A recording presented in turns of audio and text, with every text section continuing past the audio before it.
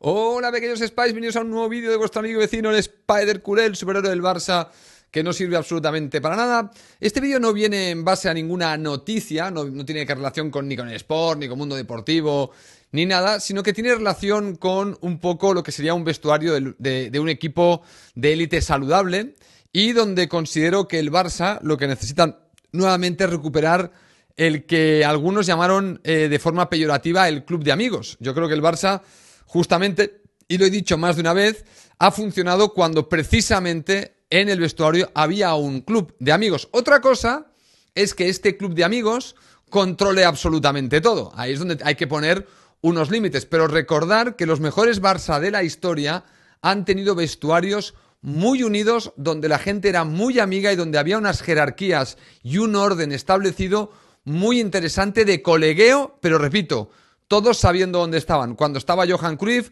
había un, grupo de amigos que lo formaban Kuman, Chiqui Begiristain, José Mari Vaquero, Alex Sanko, el propio Guardiola, Ronald Kuman, Laudrup eh, y Stoikov. Fijaros que era un grupo que si lo piensas, había veteranos como, como Alessanco, había gente muy joven como Guardiola, había jugadores intermedios como Vaquero o Chiqui Begiristain, había dos extranjeros o, tres como Laudrup, Stoikov y Kuman, que se hicieron también todos muy amigos.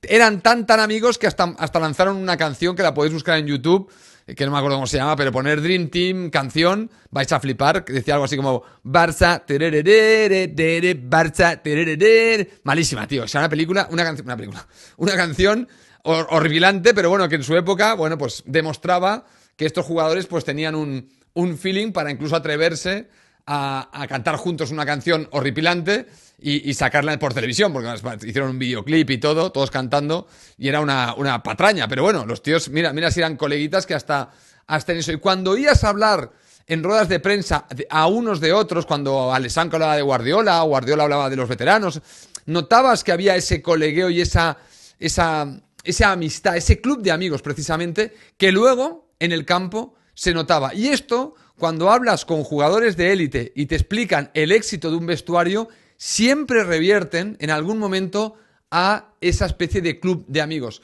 Porque lo que hace el club de amigos, esto es lo importante, por eso alguna vez yo os he hecho la analogía del tema militar, es que al llevarte bien con, con tu compañero, al tenerle una estima, hace que en el campo puedas cooperar mucho más. Porque fijaros, la cooperación nace de la confianza. Tú tienes que tener clara la progresión de ideas, ¿vale? Porque esto es lo, importante. Tú cooperas bien con alguien y cada vez cooperas mejor cuanta más confianza tienes en el otro. Y cuidado, confianza no es el decirle, mira, mi novia está en el cuarto, en pelotas espatarrada, entra y si te invita a follar, a, ver qué le dices. Eso no, eso no es, eh, eso no es confianza. Eso es poner a prueba a tu amigo y ser un poco gilipollas. Tú, tu novia y tu amigo, todos, los tres. Eh, entonces, e-, eso no es la confianza. La confianza es, por un lado, llevarte bien, pero por otro lado, tener confianza en que tu compañero sabe lo que está haciendo. Es decir, que tienes confianza en sus aptitudes. Y si además le tienes confianza personal porque eres capaz de contarle cosas íntimas, porque es tu amigo y porque eres capaz de empatizar con él, entonces pasas al siguiente nivel donde la cooperación llega ya a niveles mucho más importantes y mucho más interesantes. Y al jugar, dos tíos que se llevan bien porque confían el uno en el otro. Es decir, yo confío en tu capacidad técnica y futbolística, en que vas a cumplir con tu labor, y tú confías en la mía. Entonces salimos al campo confiados en lo que vamos a hacer nosotros, pero también confiados en lo que va a hacer el tío que tengo al lado. Si encima al mirarle estoy viendo a un amigo, entonces, cuando yo tengo que hacerle un pase, o cuando tengo que hacer algo, o cuando tengo que cubrirle, lo hago con más intención, porque yo también le, a un amigo tú le quieres ayudar, tú a un amigo no lo quieres fastidiar. Entonces, el club de amigos es fundamental, señores. Y el club de amigos es, por ejemplo, algo que faltaba mucho en la época de Kuman. Un vestuario fragmentado, donde cada uno va a la suya y no hay realmente buena relación o compenetración entre los jugadores, es cuando el vestuario o cuando el equipo no acaba de jugar como un equipo. Esto algunas veces yo lo he comentado, que tú puedes intentar eh, unificar a los futbolistas teniendo en cuenta, por ejemplo, un parámetro como la edad.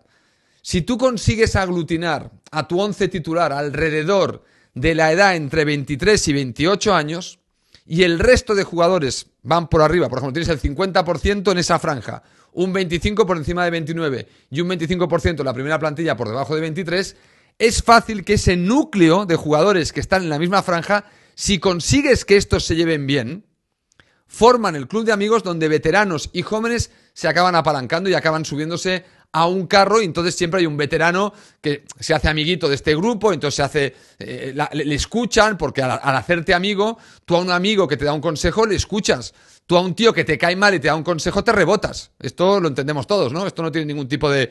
de cuando no y esto es un tema de confianza.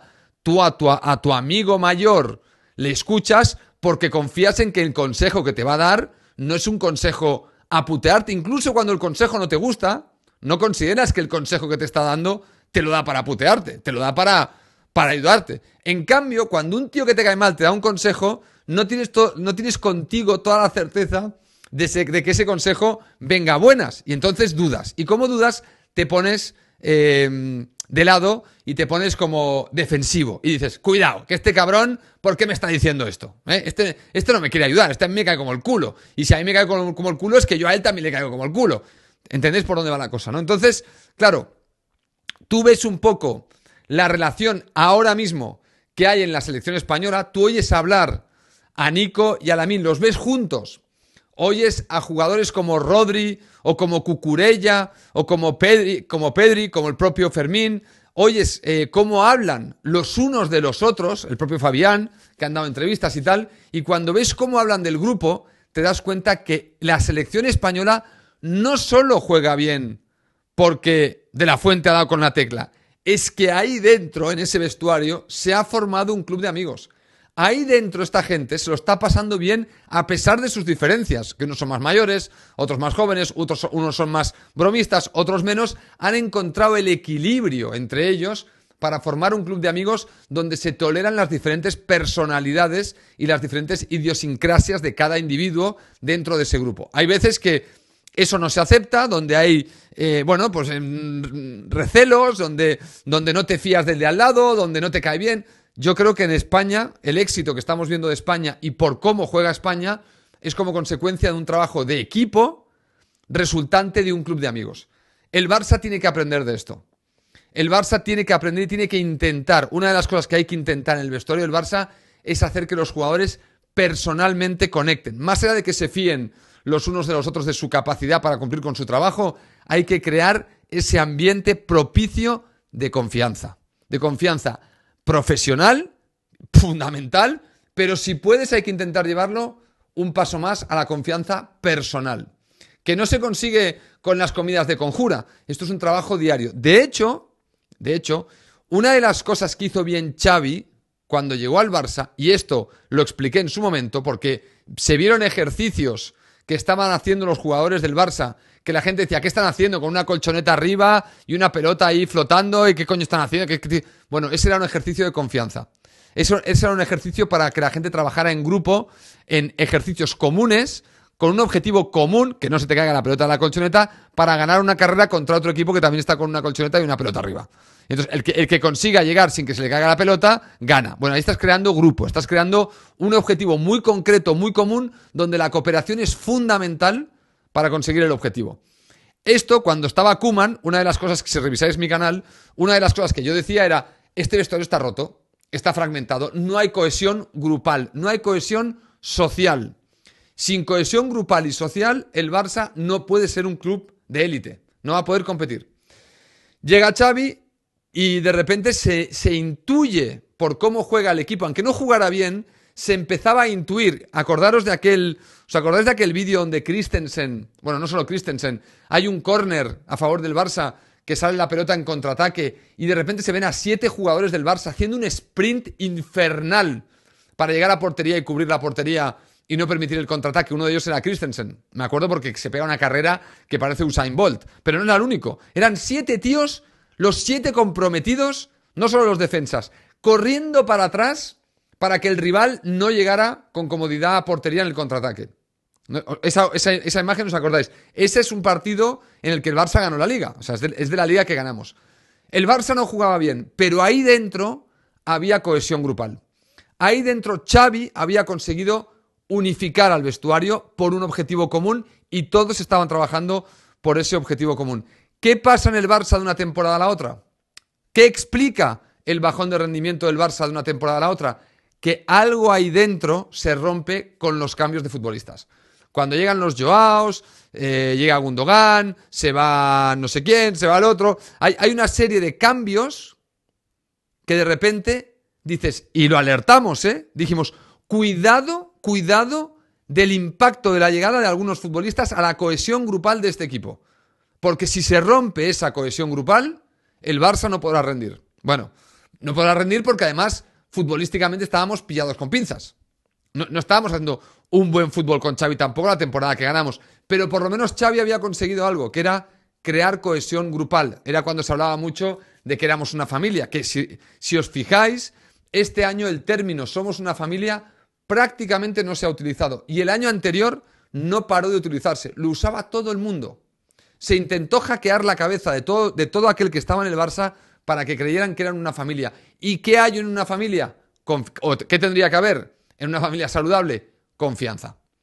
Y cuando hay confianza, hay trabajo en común. Y cuando hay trabajo en común, la suma de los individuos es más que la suma individual. Es decir, que 11 jugadores en el campo no suman 11, suman 16.